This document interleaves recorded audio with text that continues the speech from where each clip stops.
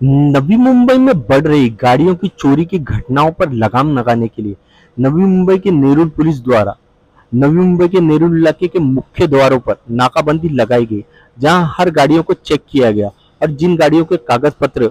Clear नहीं थे उन्हें जब्त किया गया और जिन गाड़ियों के पेपर क्लियर थे उन्हें छोड़ दिया गया। ये सारी नाकाबंदी नेरुल पुलिस स्टेशन के गुने शाखा के रमेश चौहान के नेतृत्व में नेरुल के सभी मुख्य द्वारों पर नाकाबंदी लगाई गई थी।